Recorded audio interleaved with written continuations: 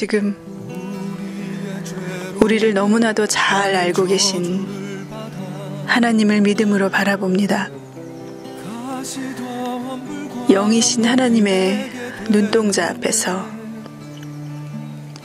아무것도 숨길 수 없는 이 거룩한 자리에 믿음으로 서시기를 초청합니다.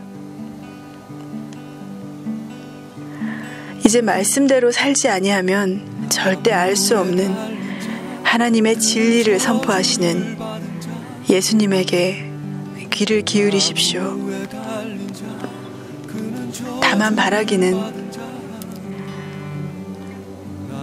당신이 마음의 돌을 들어 예수님을 향해 내려치지 않으시기를 부탁합니다. 예수님께서 당신을 피해 숨지 않으시기를 기도합니다. 나의 저주를 대신 받은 자 가시면류관 쓰신 자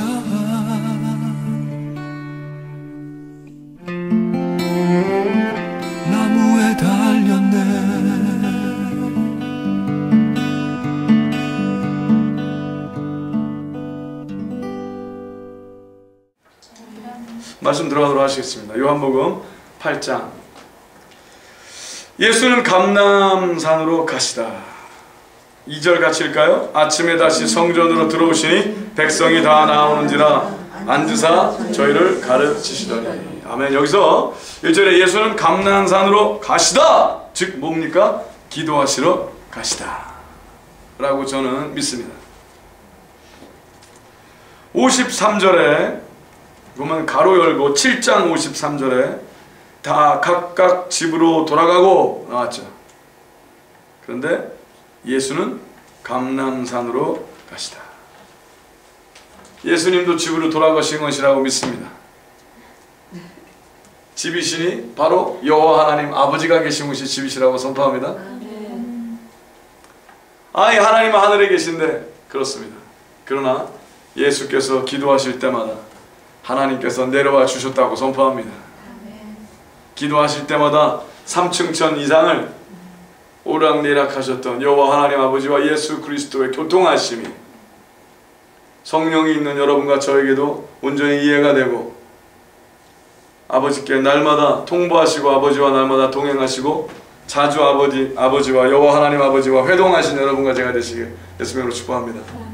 그럴 때 하나님께서 예수님께서 들으셨던 음성은 우리 안에 성령 충만하게 하사 날마다 듣게 하시고 그리스도의 믿음의 분량까지 자라나 하나님의 일을 하게 하실 것이라고 선포합니다. 아침에 다시 즉 뭡니까? 여호와 하나님 아버지를 만나시고 하나님을 만나시고 대화하시고 근데 재밌죠?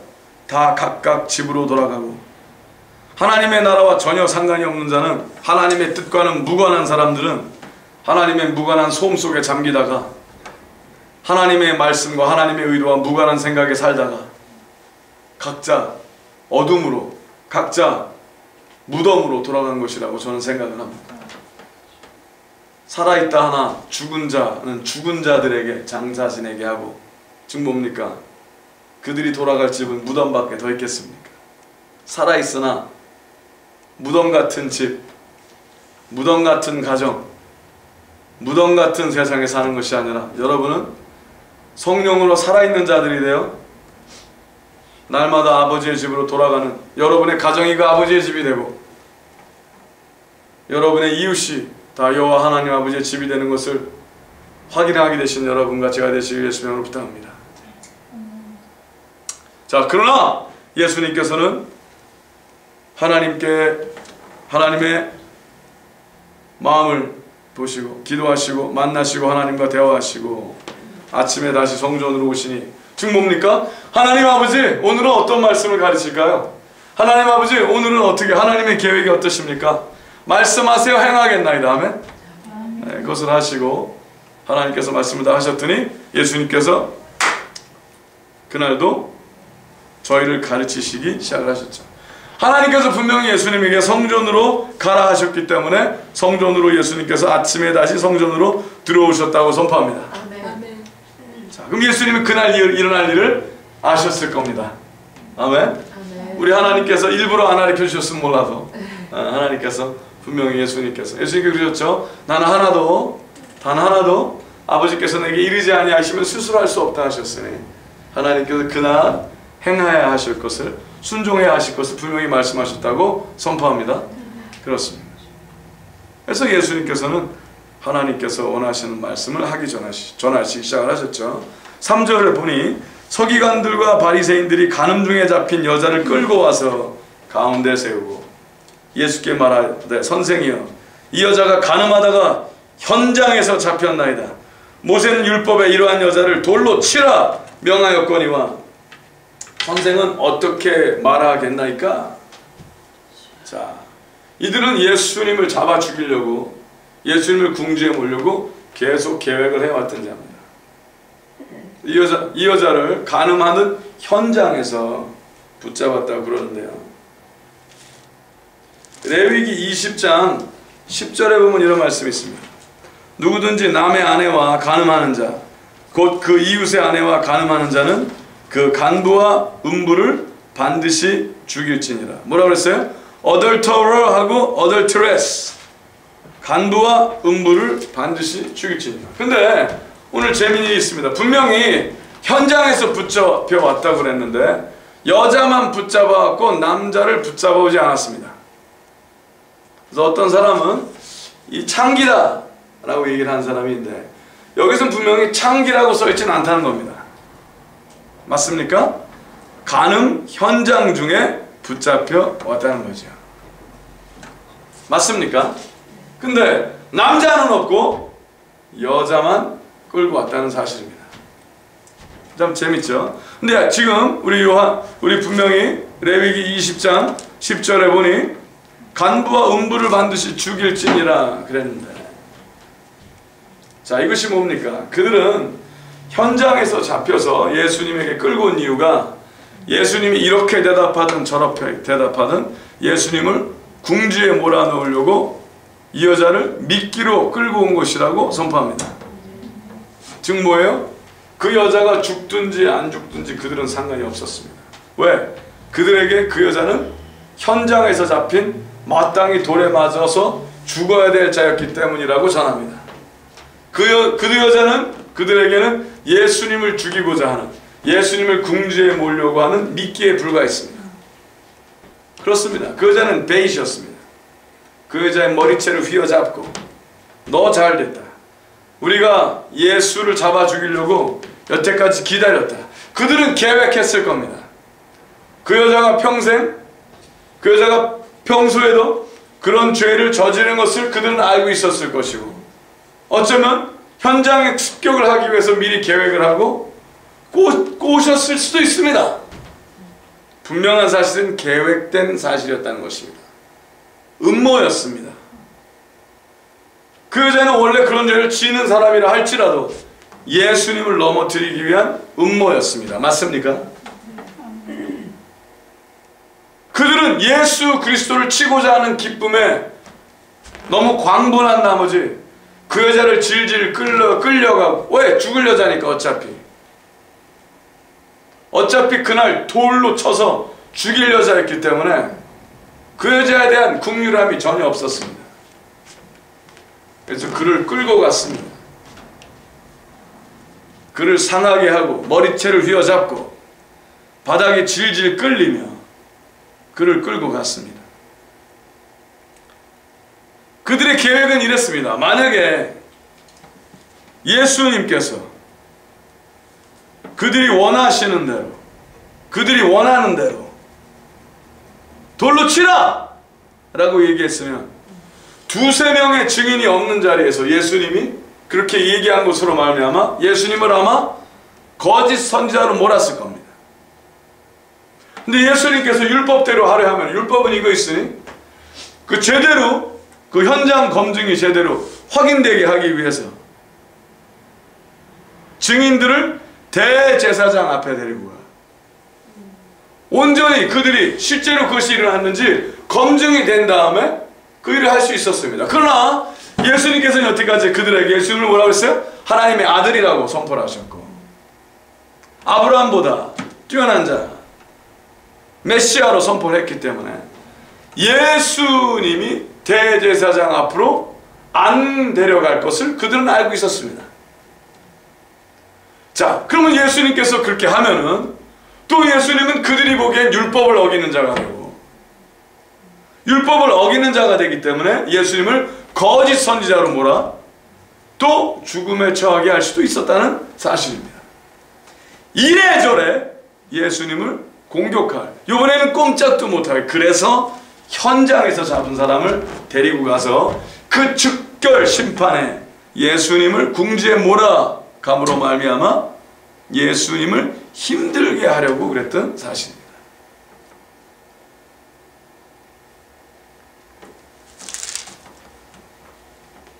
그러면서 그들이 이렇게 얘기합니다. 모세는 율법에 이러한 여자를 돌로 치라 명하였거니와 선생은 어떻게 말하겠나이까? 저희가 이렇게 말하면 고소할 조건을 얻고자 하여 예수를 시험하며 근데 예수님께서 대답은 하지 아니하시고 예수께서 몸을 굽히사 손가락으로 땅에 쓰시니 저희가 묻기를 마지 아니하는지라 But Jesus bent down and started to write on the ground with the finger when they kept on questioning him. 자, 예수님께서 땅에 뭐를 쓰셨을까요? 예수님께서는 그 여자의 죄만이 아니라 그들의 죄를 위해서 벌써 죽여주시기로 결정하고 오신 분이십니다. 맞습니까? 그들은 그걸 몰랐습니다. 그들은 예수님을 죽이려고 했는데 예수님은 그렇잖아도 그들을 위해서 죽으시려고 오셨다는 사실입니다. 예수님이 짊어지셔야 할 죄가 분명하고도 확실한 것이었기 때문에 예수님은 그 하나의 하나의 죄를 하나님께서 예수님에게 가르쳐 주셨고 예수님은 그 하나하나를 바라보며 그들의 죄를 땅바닥에 쓰고 있으셨다고 선포합니다. 여러분 같으면 죽여라 죽여라 여자를 어떻게 되느냐 판결을 기다리는데 여러분이 그렇게 주시하고 있는 자가 땅에 무엇을 쓰면 여러분 쳐다보겠어요? 안 쳐다보겠어요? 쳐다보겠죠. 뭐 하나 그럴 거 아니에요? 지금 뭐 이상한 짓거리를 한단 말이죠. 근데 그때 하나님의 기적이 일어났습니다. 이에 일어나 가라사대 너희 중에 죄 없는 자가 먼저 돌로 치라 하시고 다시 몸을 굽히사 손가락으로 땅에 쓰시니. 자 여러분이 예수님께서 여러분에게 당신에게 너희 중에 죄 없는 자가 먼저 돌로 치라 하시고 여러분을 쳐다보신 이후에 여러분을 둘러다 보신 후에 당신의 눈동자와 정확하게 마주치신 이후에 네가 죄가 없으면 네가 먼저 치라 하고 땅바닥에 글을 쓰실 때 당신은 예수님이 쓰는 글을 보지 않으시겠습니까? 기적은 그것이니 거기 있는 모든 자가 돌을 들었던 자들 다 하나하나가 하나님의 마음을 볼 수 있도록 엿볼 수 있도록 하나님께서 진리를 허락하셨다고 선포합니다. 구절에 보니 저희가 이 말씀을 듣고 양심의 가책을 받아 어른으로 시작하여 젊은이까지 하나씩 하나씩 나가고 오직 예수와 그 가운데 섰는 여자만 남았더라. 그렇습니다. 예수님은 분명히 그들의 죄를 다 아셨습니다. 그리고 그 예수님이 정확하게 알고 있는 그 죄들을 예수님은 짊어지시려고 오신 것이었습니다. 그리고 예수님 믿음으로 그것을 용서하시기로 작정하셨던 겁니다. 그들의 죄를 알면서도 짊어지시기로 작정을 하고 용서하기로 작정하신 예수님께 그들은 예수님을 죽이기 위하여 그들에게 들킨 현장에서 들켰 그러나 그들은 자기의 죄를 저질렀을 때 현장에서 들키지 않았다는 사실입니다. 자기가 죄를 지었을 때 현장에서 들키지 않았으나 다른 여인이 현장에서 들켰다는 그것으로 그를 죽이려고 예수님 앞에 데리러 왔다는 사실입니다. 여러분의 죄도 그 현장에서 여러분의 그 죄의 현장에서 하나님의 눈동자가 빛났었다고 선포합니다. 여러분의 그 죄의 현장에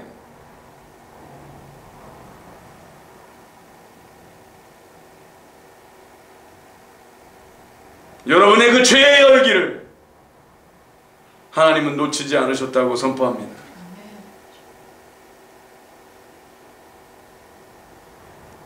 들키니 들키지 않은 자이기 때문에 들킨 자의 죄를 정죄하는 죄를 저지르지 않으시길 예수의 이름으로 축복합니다. 당신의 죄가 들키지 않았다고 해서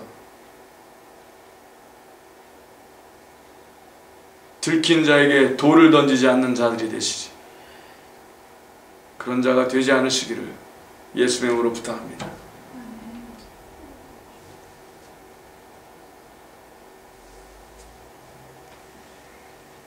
예수님 앞에 들켜버린 그들이 나이 많은 사람 부터 하나씩 물러갔던 이유는 하루를 더 살면 하루 더 죄질 수밖에 없는 죄인의 모습으로 살았기 때문이라고 전합니다. 하루 더 사셨습니까? 분명히 당신은 하루 더 죄를 지었을 겁니다. 그렇습니다.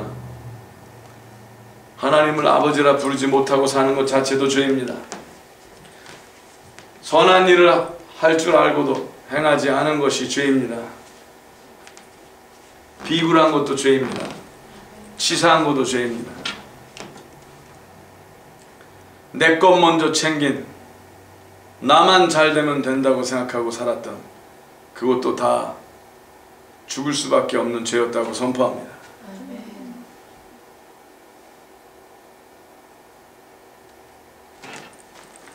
그나마 하나님 앞에 들킨 자들은 행복한 자들입니다.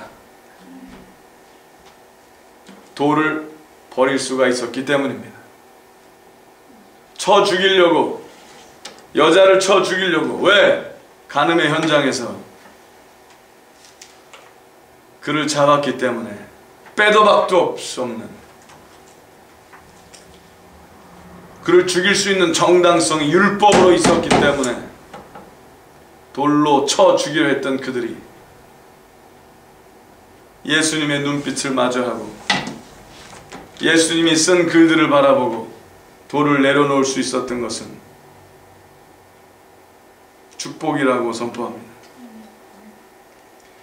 양심의 가책을 받아 아멘 어른으로 시작하여 젊은이까지 하나씩 하나씩 나가고 오직 예수와 그 가운데 섰는 여자만 남았더라.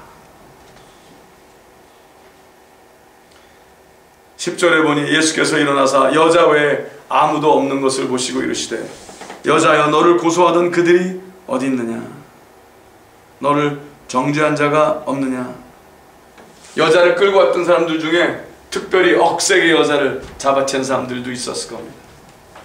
침을 뱉고 머리를 쥐어 뜯고 머리를 하도 끌어 당겨서 얼굴을 땅바닥에 비비고 끌고 와서 어쩌면 얼굴에 긁힌 자국과 머리를 하도 시컨 잡아 당겨서 머리가 한 움큼 이상이 뽑히고 머리를 하도 시컨 당겨서 머리 뿌리에서도 피가 흐르고 있었을지도 모릅니다. 눈물과 땀과 피가 범벅이 되어 두려움과 아픔과 슬픔과 괴로움에 지쳐서 너무 두려워서 너무 놀라서 주위를 바라볼 수 없었지만 너를 고소하던 자들이 어디 있느냐? 너를 정죄한 자가 없느냐? 라는 예수님의 따스한 음성을 듣고서야 비로소 주위를 볼 수 있었을 겁니다. 자기를 돌로 치려하던 그 사람들의 무서운 눈빛들과 언성들과 거친 숨소리들은 온데간데 없이 사라져버리고 예수님의 따스함과 예수님의 용서만 그 여자를 감싸고 있었다고 전합니다. 대답하되 주여 없나이다. 예수께서 가라사대 나도 너를 정죄하지 아니하노니 가서 다시는 죄를 범치 말라 하시니라. 여러분 지금 이 장소에 와 계십니까? 이 말씀의 장소에 와 계십니까? 바로 당신이 그 여인이 되시라고 당신을 도전합니다. 당신은 하나님에게 들킨 자입니다.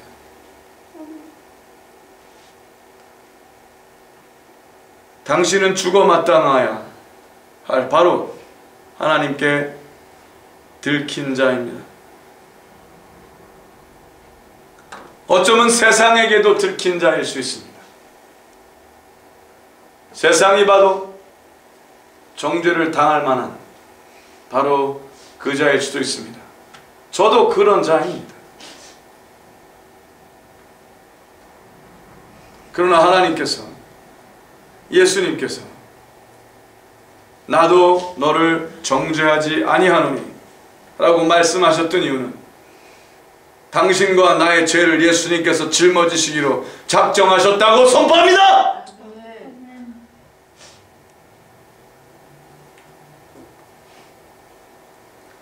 수많은 사람들이 주께 옵니다. 주님께 옵니다. 교회를 찾습니다. 용서해 달라고 합니다. 하나님은 용서해 주길 원하십니다. 그래서 작정하시고 당신을 위해서 죽어주신 것이 사실입니다. 그러나 더 중요한 것이 있습니다. 다시는 죄를 범치 말라 하신 하나님의 음성을 잊지 않는 여러분 되시길 예수 명으로 축복합니다. 예수께서 또 일러 가라사대 나는 세상의 빛이니 나를 따르는 자는 어두움에 다니지 아니하고 생명의 빛을 얻으리라. 예수님은 당신을 정죄하지 않는다 하시며 당신이 정죄받을 그 죄를 도리어 예수님 위에 옮기시고 그가 정죄를 받으셨다고 선포합니다.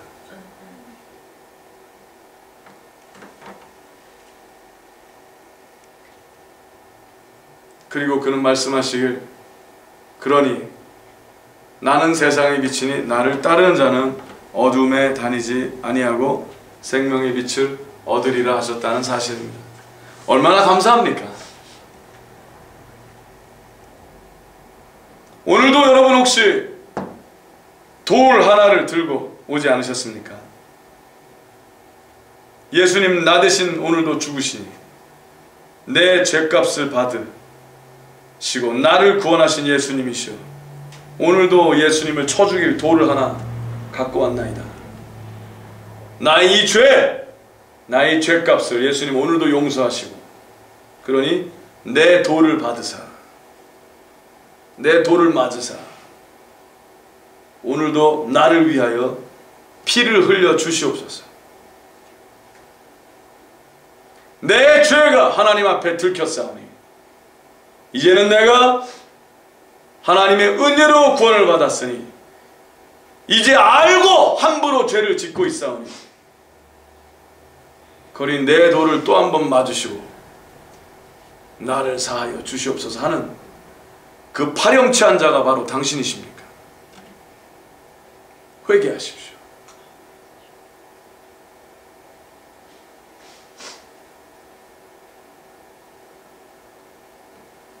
다시는 죄를 범치 말라 하신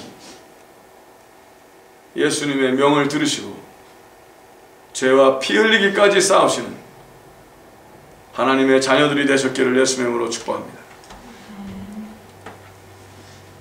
그랬더니 바리새인들은 들을 수 없었습니다. 왜? 바리새인들은 자 다른 사람들은 다 갔죠. 돌로 죽이려고 했던 우매한 자들은 예수님의 눈빛을 바라보고 예수님이 글을 쓰셨을 때 양심의 찔림을 얻고 돌이켜 돌아갔지만 남은 종교인들이 있었으니 바로 여기 그 바리새인들이라고 전합니다. 13절에 보니 바리새인들이 가로되 네가 너를 위하여 증거하니 네 증거는 참되지 아니하도다. 증거입니까? 그건 네가 하는 얘기지. 네가 만 네가 말하는 게 다 맞냐? 예수님께 따져댑니다. 예수께서 대답하여 가사대 내가 나를 위하여 증거하여도 내 증거가 참되니 나는 내가 어디서 오며 어디로 가는 것을 알미오니와 너희는 내가 어디서 오며 어디로 가는 것을 알지 못하느니라. 예수님께서 그러신 거죠. 나는 하나님께서 보내신 하나님의 아들로서 정확한 목적을 갖고 지금도 그 목적을 행하기 위해서 여기 있거니와 너희는 예수님이 하나님의 아들인 것도 모르고 예수님이 또 천국으로 하나님 아버지께로 하나님께서 보내신 목적과 이유를 다 달성하시고 돌아갈 것을 알 수 없으니 왜냐? 너희는 마귀의 자식들이니. 알지 못하느니라. 너희는 육체를 따라 판단하나 나는 아무도 판단치 아니하노라 육체는 죄 가운데 있고 그들은 눈에 보이는 것으로. 판단하나? 예수님께서는 뭐라고 하셨어요? 눈에 보이는 것으로 아무도 판단치 아니하노라 그러나 말씀하시길 16절에 만일 내가 판단하여도 내 판단이 참되니 이는 내가 혼자 있는 것이 아니요 나를 보내시니가 나와 함께 계십니다. 즉 뭐예요? 예수님은 스스로 판단하지 아니하시고 오직 여호와 하나님 아버지께서 보시는 대로 원하시는 대로 하나님의 뜻대로 판단하시기 때문에 예수님이 만약을 판단해도 예수님은 혼자 판단하는 것이 아니라 하나님이랑 같이 판단하기 때문에 그 판단이 옳다. 라고 얘기를 하신 겁니다. 그러면서 더불어서 설명하시길 너 율법에도 두 사람의 증거가 참되다 기록하였으니 예수님이 왜 말씀하시는지 아십니까? 정확하게 그들의 의도를 알고 계셨기 때문입니다. 그들은 예수님을 궁지에 몰려고 그 여자를 현장, 가늠의 현장에서 붙잡힌 자들 데리고 왔고 두 사람의 증거가 참되다. 즉 그들이 군중 심리로 예수님을 몰아붙이려 했을 때 예수님께서 정확하게 그들이 제대로 경위를 통하지 않고 예수님을 몰아붙이려 하는 것을 예수님은 알고 계셨고 정확하게 그들의 의도를 알았기 때문에 너희가 그래서 그 여자를 나에게 데리고 온 거 아니냐? 라는 식으로 그러나 말씀하시길 너희 율법에도 두 사람의 증거가 참되다 기록하였으니 내가 나를 위하여 증거하는 자가 되고 나를 보내신 아버지도 나를 위하여 증거하느니라. 즉 뭐예요? 근데 그들은 하나님을 볼 수 없었기 때문에 두 증인의 모습을 둘 다 볼 수 없었다고 선포합니다 더 화가 났던 거죠. 더 그들은 예수님을 죽이려고 하고 궁지에 몰려고 그랬는데 그 일은 실패로 돌아가고 그들만 더 하나님의 마음도 모르고 뜻도 모르는 거짓 종교인이라는 것이 드러나기 시작을 했으니 그들이 얼마나 더 화가 났겠습니까? 이에 저희가 묻되 내 아버지가 어디 있느냐? 예수께서 대답하시되 너희는 나를 알지 못하고 내 아버지도 알지 못하는도다. 나를 알았다면 내 아버지도 알았으리라. 이 말씀은 성전에서 가르치실 때 연목의 앞에서 하셨으나 잡는 사람이 없으니 이는 그의 때가 아직 이르지 아니하였습니다.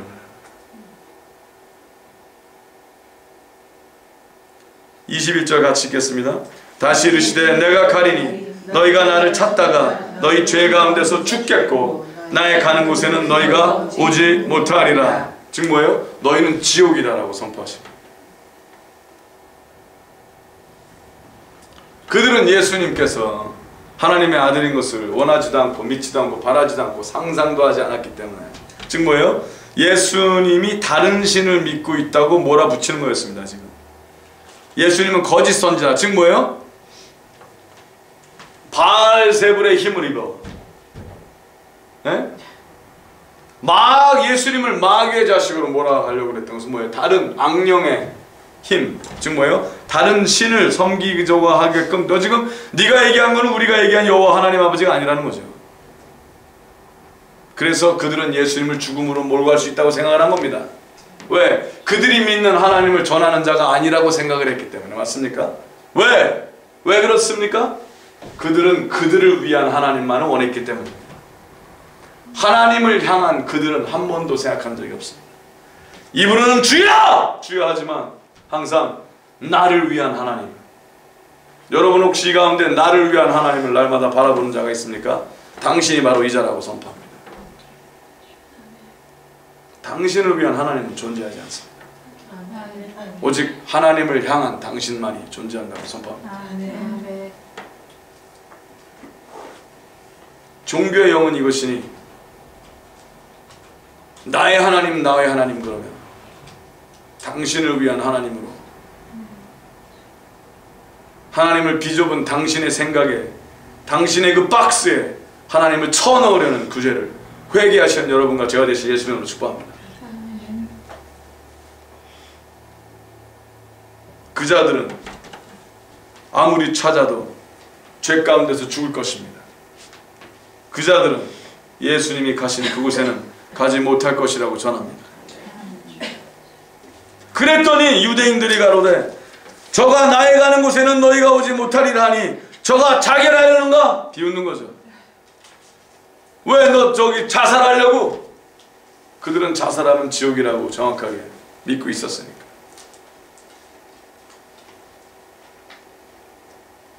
무서운 얘기 아닙니까?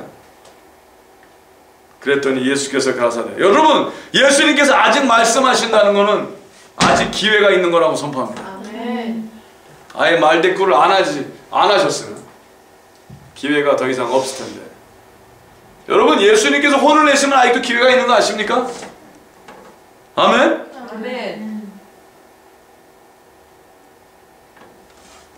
사랑의 매를 드신 예수님을 찬양합니다.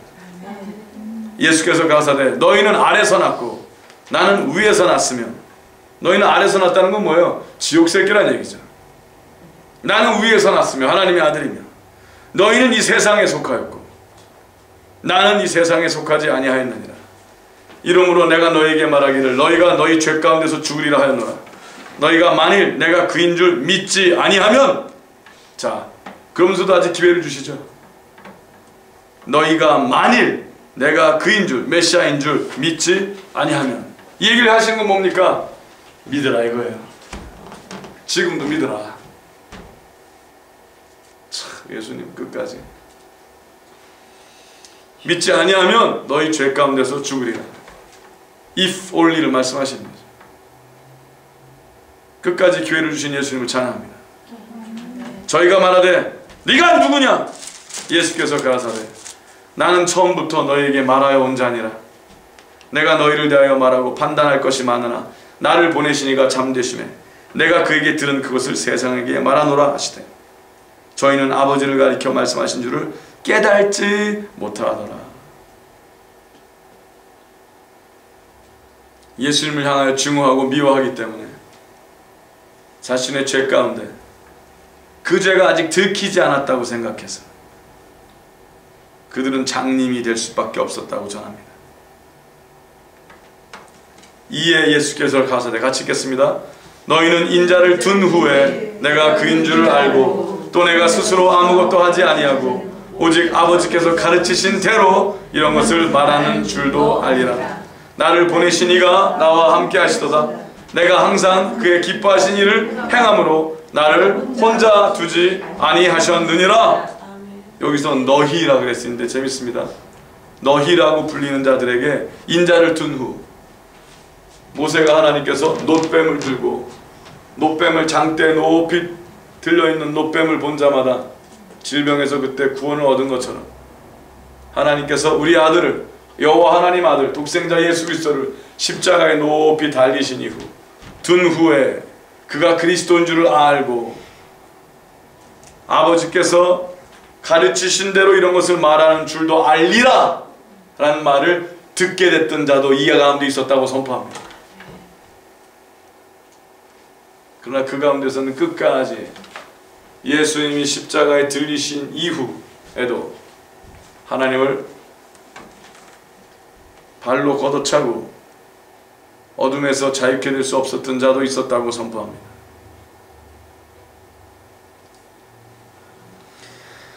나를 보내신 이가 나와 함께 하시도다. 내가 항상 그의 기뻐하신 일을 행함으로 나를 혼자 두지 아니하셨느니라. 여러분 하나님께서 여러분을 혼자 두길 원하지 않으십니까? 제발 그렇다면 예수님의 말씀처럼 항상 하나님이 기뻐하신 일을 하신 자들 되시 예수님으로 축복합니다. 이것이 비결이니 이것이 하나님과 동행하는 비결이니 하나님이 항상 기뻐하신 일을 행하십시오. 그것이 곧 하나님 사랑 이웃 사랑이라고 전합니다. 거저받은 사랑을 거저받은 성령을 자유함 받았으니 자유케 하는 자의 삶을 사는 것이 하나님께서 여러분을 결코 혼자 두지 아니하신 일을 여러분이 스스로 하게 되는 것이라고 선포합니다.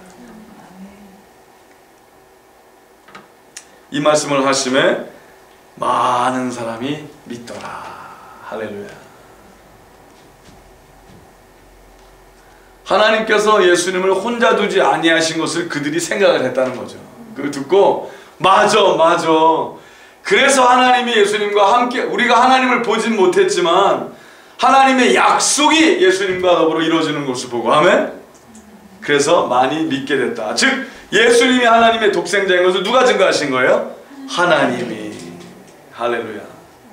여러분도 여러분이 하나님의 자식임을 하나님이 증거하시기까지 순종하시겠음을 축복합니다. 맨날 내가 하나님의 자식이요! 라고 동네방네 회개하고 다녀봐야 하나님이 여러분을 하나님의 자식으로 증거하지 아니하시면 무슨 창피입니까? 맞습니까? 제발 열매 있는 믿음을 거하시는 여러분 되시길 예수님으로 축복합니다. 그러므로 예수께서 자기를 믿은 유대인들에게 이르시되 너희가 내 말에 거하면 같이 읽겠습니다. 아주 중요한 말씀이죠. 너희가 내 말에 거하면 참 내 제자가 되고 진리를 알지니 진리가 너희를 자유케 하리라. 자, 중요한 것은 누구에게만 얘기하셨어요? 자기를 믿은 유대인에게만 얘기를 하셨어요. 자, 유대인이라는 얘기는 하나님을 안다 하는 자들이었고 하나님을 안다 하는 자들 중에서 예수님이 하나님의 독생자인 것을 믿은 자들에게만 그들이 알아들을 수 있는 말씀하셨다고 선포합니다. 중요한 것은 뭐예요? 자, 진리가 너희를 자유케 하리라 라는 하나님의 의도가 진정한 자유한 죄에서 자유케 되는 삶을 살려면 진리를 알아야 되는데 진리를 알기 위해서는 그의 말씀에 거해야 된다고 선포합니다. 진리를 머릿속으로만 배우고 학교에서 학습으로 배우는 것이 아니라 성경 공부로 배우는 것만이 아니라 하나님께서 주신 하나님의 의도에 여러분이 그 하나님의 뜻대로 살기 시작한 그 이후에 즉 뭐예요? 말씀대로 살면 제자가 되고 아멘. 말씀대로 살지 아니하면 절대 알 수 없다는 겁니다. 즉 아무리 신학교를 나오고 아무리 성경을 많이 들여다봐도 하나님의 마음대로 하나님의 하나님이 원하시는 대로 삶을 하나님이 원하시는 방법으로 살지 아니하면 즉 하나님 사랑 이웃 사랑하며 양심이 되살아나고 하나님의 정의와 공의의 삶을 실현하며 살지 않는다면 당신은 결코 죄에서 자유케 될 수 없다고 선포합니다. 저희가 대답하되 우리가 아브라함의 자손이라 남의 종이 된 적이 없거늘 어찌하여 우리가 자유케 되리라 하느냐? 예수께서 대답하시되 같이 읽겠습니다. 38절까지 읽겠습니다. 시작. 진실로 진실로 너에게 이르노니 죄를 범하는 자마다 죄의 종이라 종은 영원히 집에 거하지 못하되 아들은 영원히 거하나니 그러므로 아들이 너희를 자유케 하면 너희가 참으로 자유하리라 나도 너희가 아브라함의 자손인 줄 아노라. 그러나 내 말이 너희 속에 있을 곳이 없으므로 나를 죽이려 하는도다.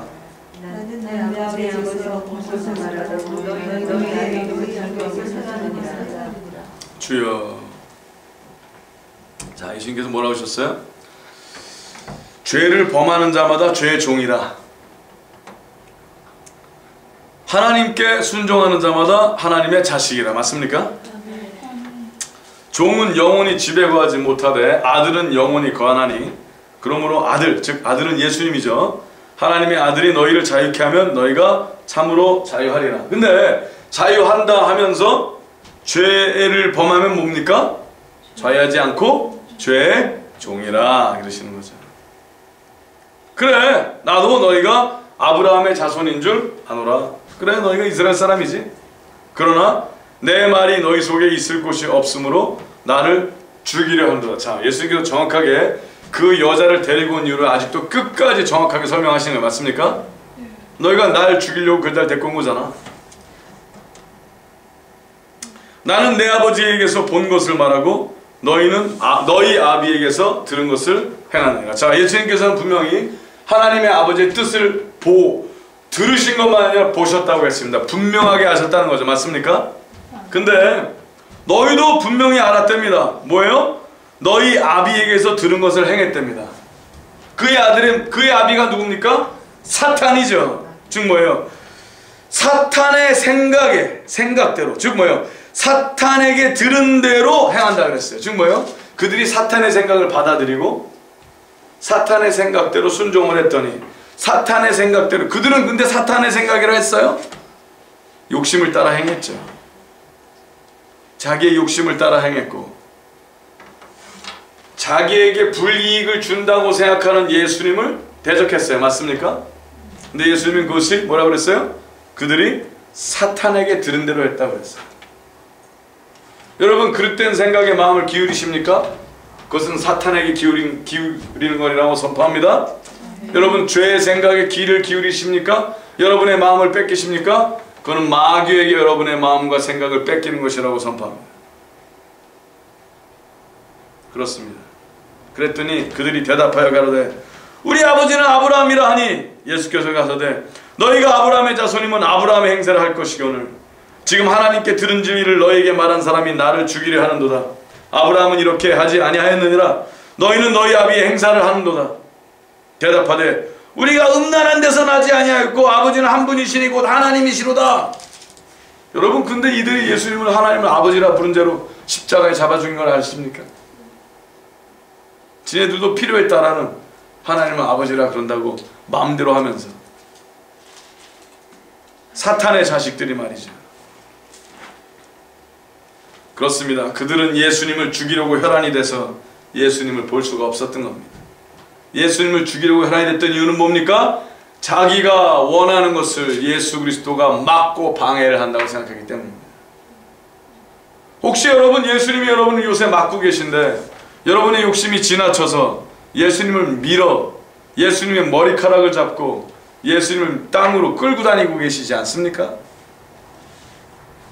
양심을 따라 하나님을 섬기는 삶을 산 지가 하도 오래돼서 예수님의 머리채를 휘잡고 있지 않습니까? 그러면서 주여! 내 기도를 들어주시옵소서.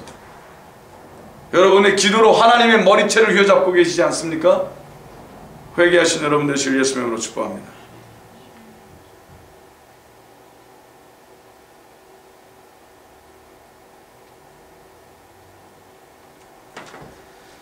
예수께서 가라사대 하나님이 너희 아버지였으면 너희가 나를 사랑하였으리니 이는 내가 하나님께로서 나서 왔습니다. 나는 스스로 온 것이 아니요 아버지께서 나를 보내신 것이니라. 어찌하여 내 말을 깨닫지 못하느냐? 이는 내 말을 들은 줄 들을 줄 알지 못함이로다. 너희는 너희 아비 마귀에게서 났으니 너희 아비의 욕심을 너희도 행하고자 하느니라. 여러분의 욕심을 다 죽이시길 제발 예수 명으로 부탁합니다. 여러분에게 비이는 것은 욕심을 따라 하나님을 섬길 수 없다고 분명히 간절하게 다시 한번 말씀드립니다. 저는 처음부터 살인한 자요 진리가 그 속에 없으므로 진리에 서지 못하고 거짓을 말할 때마다 제 것으로만 하나니 이는 저가 거짓말장이요 거짓의 아비가 되었음이니라. 내가 진리를 말함으로 너희가 나를 믿지 아니한도다. 너희 중에 누가 나를 죄로 책잡겠느냐? 내가 진리를 말하며 어찌하여 나를 믿지 아니하느냐? 같이 47절 선포하시겠습니다. 하나님께 속한 자는 하나님의 말씀을 듣나니 너희가 듣지 아니함은 하나님께 속하지 아니하였음이로다. 말씀대로 행하지 않으면서 아이 뭐 다 어떻게 말씀대로 할 수 있어요? 라고 믿는 당신이라면 당신은 하나님의 자식이 아니라고 분명하게 말씀드립니다. 세례 받았다고요? 회개했다고요? 헌물 냈다고요? 재산을 다 태워드렸다고요? 당신 겁니까?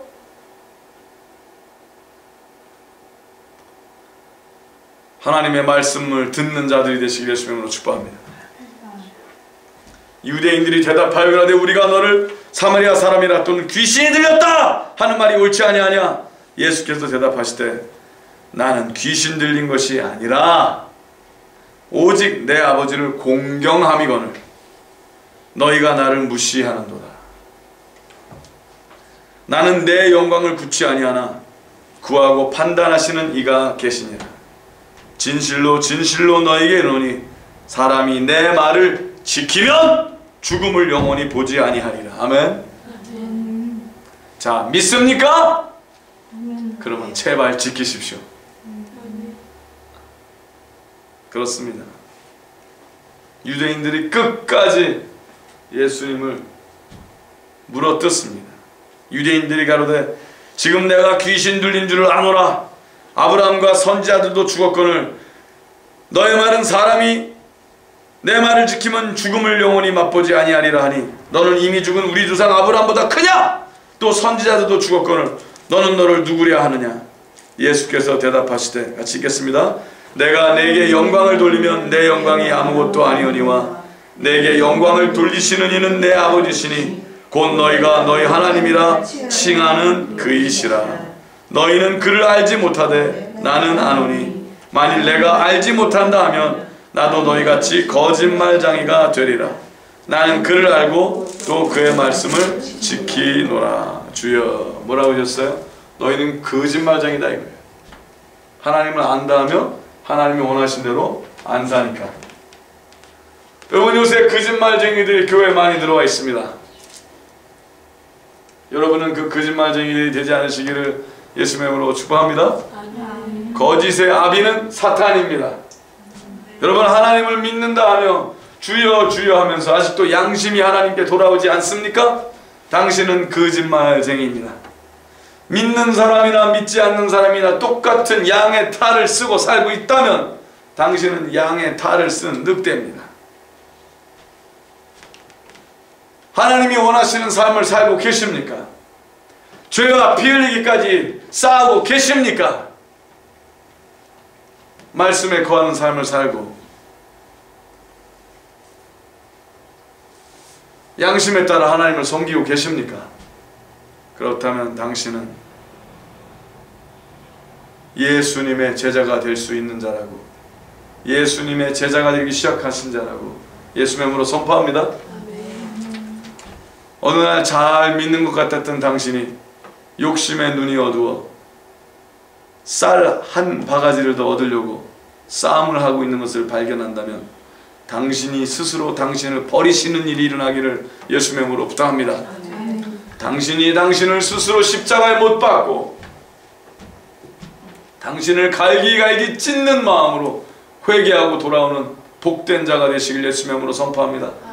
그러나 더 바라기는 아예 그러한 참혹한 일이 일어나기 전에 오늘부터 벌써 말씀에 올인하시는 하나님의 말씀대로 살아가신 여러분과 제가 되시길 예수님의 이름으로 축복합니다. 그래서 아주 중요한 말씀 다시 선포합니다. 너희가 내 말에 거하면 참 내 제자가 되고 진리를 알지니 진리가 너희를 자유케 하리라. 당신이 아무리 공부를 하고 달달 애운다 할지라도 말씀대로 살지 아니하면 당신이 안다 하는 그 진리가 당신을 자유케 할 수 없다고 선포합니다. 유대인들은 안다고 생각했습니다. 바리새인들은 안다고 생각했습니다. 말씀을 달달달달 애웠습니다. 그래도 진리대로 살지 않았기 때문에 양심을 따라 살지 않고 욕심을 따라 살았기 때문에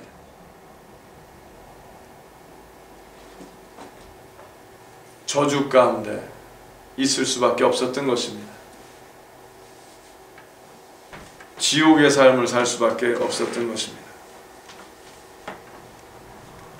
예수님께서 계속 말씀하십니다. 너희 조상 아브라함은 나의 때 볼 것을 즐거워하다가 보고 기뻐하였느니라. 유대인들이 가로되 내가 아직 50도 못 됐는데 아브라함을 봤느냐? 왜 아브라함은 옛날 사람이니까. 예수님과 그냥 말싸움하느라 정신이 없죠. 왜 여러분 저기 말싸움하는 사람들 가끔 보잖아요. 그러면 막 싸워 그죠? 혈안이 돼갖고 자기가 옳다는 것을 보이기 위해서 아, 요새 그런 사람들 많이 찾아옵니다. 수요일 목요일 계속 찾아옵니다. 주여 유대인들이 가로되 내가 아직 50도 못 되는데 아브라함을 보았느냐? 우리 58절 읽겠습니다. 예수께서 가라사대 진실로 진실로 너희에게 이르노니 아브라함이 나기 전부터 내가 있느니라. 자 예수님 끝까지 하시죠? 끝까지? 근데 정말이야 정말이야. 진실로 진실. I tell you the truth 저 같으면 옛날에 그냥 예이씨 그러다가 죽어라. 그러고 떠났을 텐데. 역시 예수님은 위대하십니다. 끝까지 끝까지 끝까지. 그렇게 쌍욕을 해대는 그들을 예수님을 죽이려고 하는 그들을 끝까지 끝까지 하나님의 진리로 저희가 돌을 들어 치려하거늘 예수께서 숨어 성전에서 나가십니다. 오늘 당신에게 예수님을 소개합니다. 숨는 예수님을 소개합니다.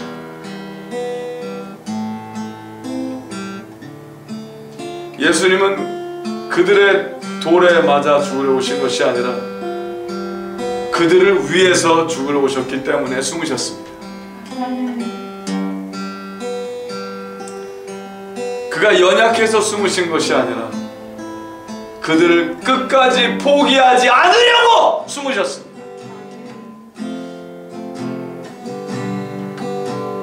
그들을 위해서 십자가에서 죽어주시려고 숨으시는 예수님을 찬양합니다. 혹시 당신이 오늘 또 예수님께 돌을 들어 예수님을 치료하는 자 그 자이십니까?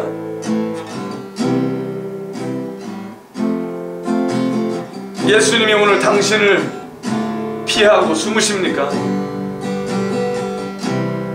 아니면 당신이 하나님께 순종하려 하여 예수님의 음성을 듣는 자이십니까?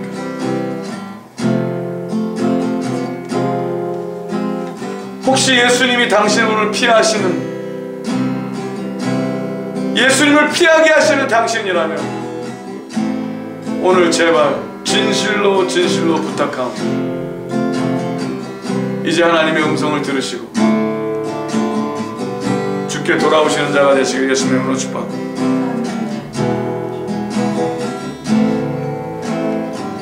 기도하시겠습니다. 하나님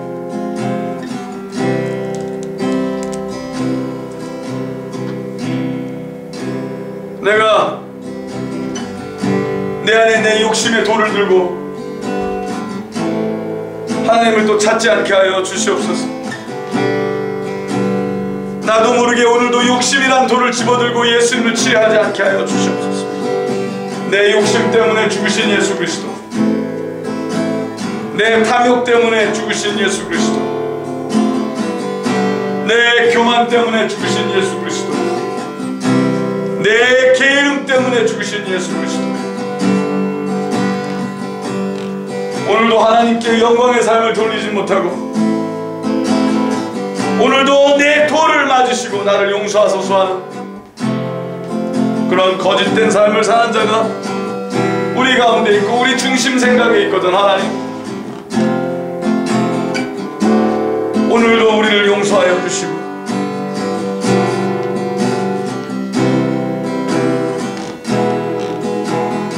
여기 하나님 앞에 나오기 나오기 전보다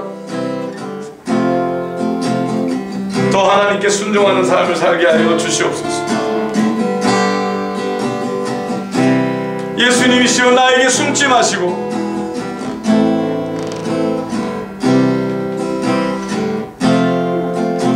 내가 이제는 주님이 원하시는 삶을 살길 바라오니 예수님 나에게 숨지 마시고 내 손에 무엇이 들려있는지 보게 하여 주시옵소서.